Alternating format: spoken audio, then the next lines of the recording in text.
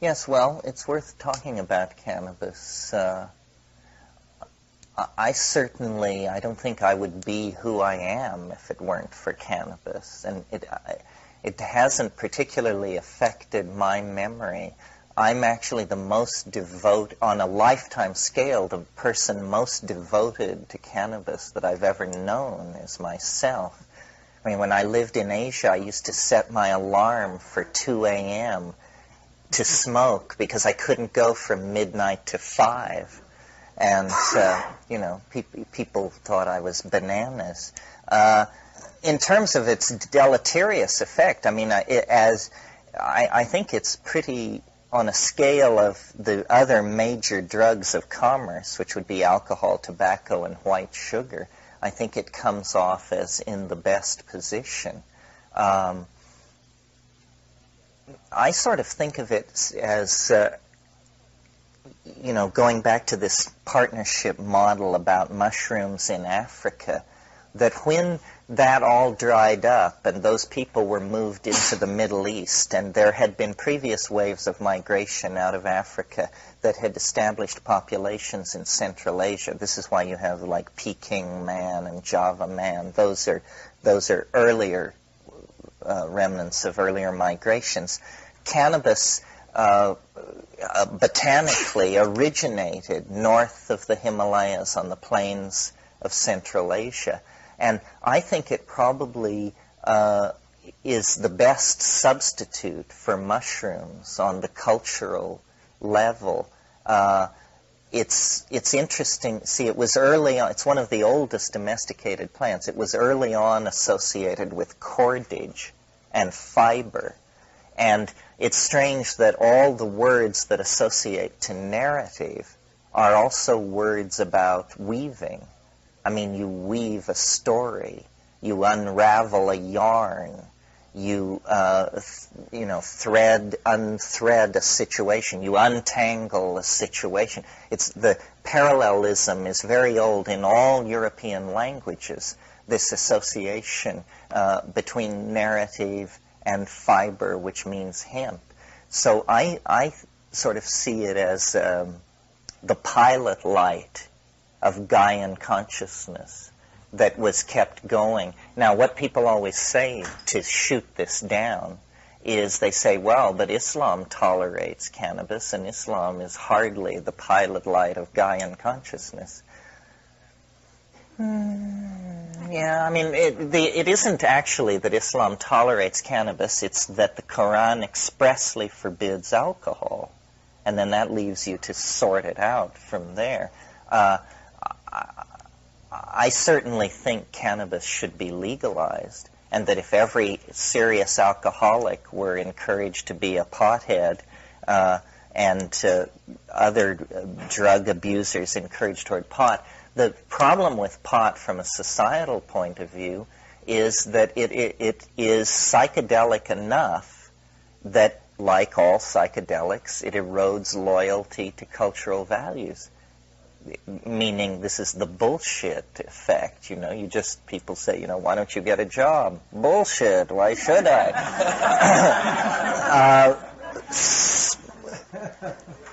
I don't see it implicated in violence. I mean, I think if anything, probably cannabis in, in ghettos is holding down violence as a drug, but probably promoting violence as an item of commerce, and that is because of chuckle-headed laws. I mean, I'm absolutely convinced that the way to solve the drug problem is to remove the profit motive. That's so obvious that I just, it's baffling to me. And society is so schizophrenic on this topic. I mean, the most dangerous drugs are alcohol and tobacco, both fully established in the uh, engines of commerce.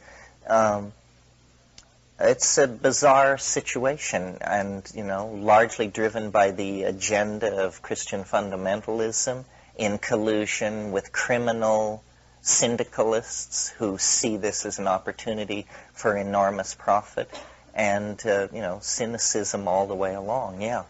Yeah, but I, I do find that um, I mean I can't smoke a lot of pot because it just uh, unfortunately, I've never become addicted to any drug as much as I try. My body just doesn't tolerate it. But and I've tried them all more than once. But um, but I do find with pot. I mean, I've had friends who became potheads who it wasn't that they betrayed commerce; they lost their ambition. And you know, and I, I mean, you're very intelligent, and you you know, you've got a vision, and you're you know, you're dedicated to your vision. You can pursue it. You know, you're a little bit above most average people, but or different most average people. Manic is what you're trying to say. Yes, I understand. But I mean, these friends of mine, I would say, you know, really got lost because of their addiction to pot. And Well- so I think that there's more an issue around. It's not a- about drugs as much as it- as it's about addiction and the issue of addiction That's right. and how addiction is, you know, individuals become addicted because they're avoiding certain psychological issues that they're, you know, struggling with. That, uh, you know, rather than dealing with the issues, they, you know, turn on the TV. Well, this relates to this larger model we talked about of time, of the war between habit and novelty. The thing that offends people about drugs, and if it doesn't offend you, there's, I think, something wrong with your value system, is to observe unconscious, repetitious, self-destructive behavior. I mean, if that means betting on the ponies, or chasing hookers, or shooting junk, or making bad investments, or always blowing your stack with your friends, whatever it is, repetitious self-destructive behavior triggers disgust in the in the rest of the gang, and uh, drugs. You know, for instance, heroin and tobacco are interesting examples because both they are probably tied for their addictive ability, and yet. You know, to shoot heroin, I mean, people just turn away aghast. It's like you're the lowest of the low, cigarette smoking until very recently was tolerated everywhere. Now, what is the difference here? The person smoking the cigarette, we know that tobacco is tremendously destructive. Uh, that's beyond argument. Uh, heroin, on the other hand, if you shoot with clean needles and have a steady supply, in other words, if you're not putting in social factors, my God, these junkies live forever. You know, they just pickle themselves and live forever, and they don't get sick. So, so mm-hmm. then, but so then, why is it that society is so abhorrent of heroin addiction and so accepting of tobacco addiction? The answer is the presentation of the intoxication.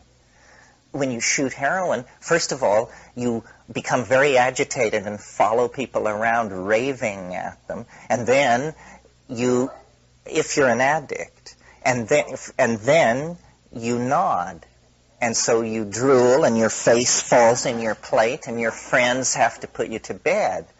Uh, tobacco on the other hand you know you can maintain. There is no dramatic uh, sequela of symptoms to betray that you know you're completely jacked up and twisted around and self-poisoned with this but there you are at your desk working efficiently making phone calls making money keeping it all together. So uh, it's the presentation. Then the other thing to say about drugs is that like everything else about us but even more so drugs are subject to the genetic your genetic heritage of drug receptors, and so uh, it's not the same for everybody, or even close to the same. I mean, uh, the range of response to drugs can be over several orders of magnitude, and can vary throughout your life.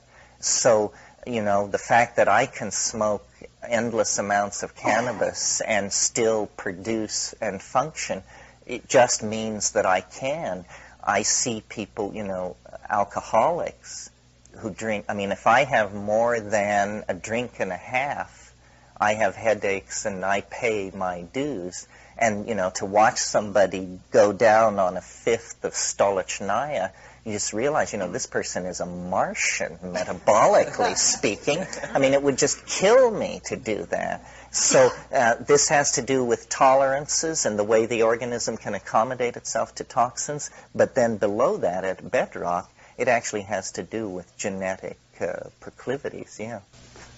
Uh, with regard to back to cannabis as a hallucinogen, um, is there a difference in your experience in, in smoking versus ingesting it, uh, eating, uh, eating? uh, Well, that, yeah, that's a good point. See, ha, uh, hashish, or the way cannabis entered the West, was as hashish, which was eaten in the 19th century. And if you read the accounts by 19th century savants who, who ate large amounts of hashish, uh, it will convince you, you know, that it was the LSD of the 1870s. I mean, these are m- mad intoxications that they are describing. It's not sitting around, you know, seeing the wallpaper move.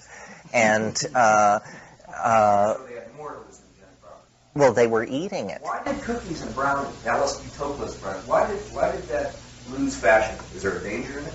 No, I think when pot went from $15 a lid to 475, people stopped cooking with it. Uh, but let, let me uh, let me say this about uh, about eating hashish. If you're going to do this, I recommend that you eat uh, red uh, Lebanese hash if you can, because you see, Lebanese hash is made in a way that people don't really touch it in the same way that charas is made in, in India by people whose uh, hands may not be so clean, and you know you're going to take a hit essentially of the uh, ambient bacterial population of the village of Hamarubitsar, and you know your guts will go completely berserk. This is one argument for baking it in a cookie is to get the pathogens at least smacked down a bit.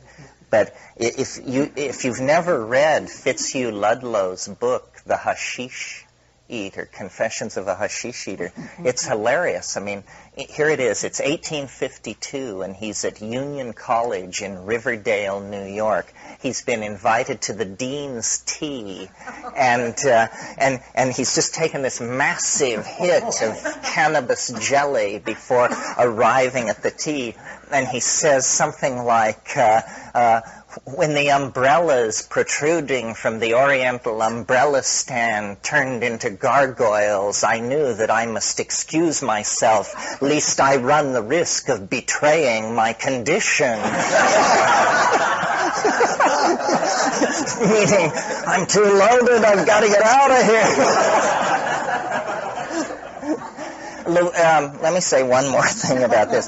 There's a wonderful book called Shaman Woman Mainline Lady that is writings by women about drugs.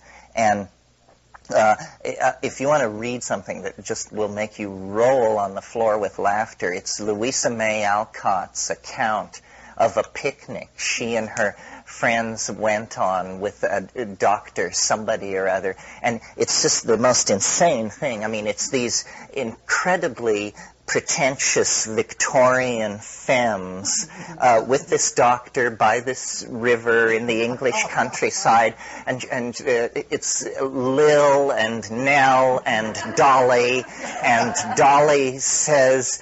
Oh, doctor, we're, we're so exhausted with canasta. Surely you have some new little divertissement that you can share with us. And he says, well, Dolly, um, I do have uh, this, uh, this uh, little case of uh, the best Moroccan hashish bonbons from Paris.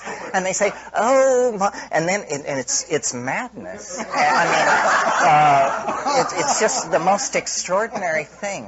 Um, yes.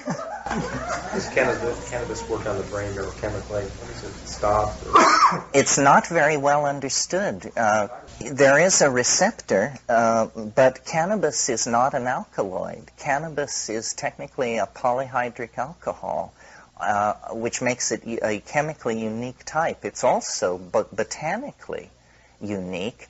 Cannabis, it's what's called a monotypic genus.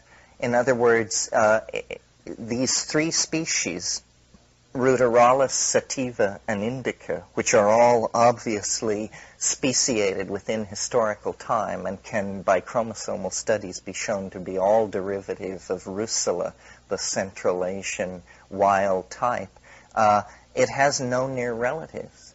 Uh, and so it's, it's unique and it's not well understood. As far as somebody asked about using it psychedelically, I think that the real, and I can't say I do this because I need it for other reasons, but in terms of the pure psychedelic issue, the way to do cannabis is once a week in silent darkness, alone, with the best stuff you can get, and then just, you know, do as much of it as you can possibly do in as short a time and sit with it. You will every single time be absolutely torn to pieces by it, you know. I mean, it is just astonishing. The problem is that people get into it, myself included, for other reasons than that hallucinogenic uh, uh, flash. But that would really be the ideal way. And also, it would prove you were a person of great rectitude and self control if you could do that. Yeah.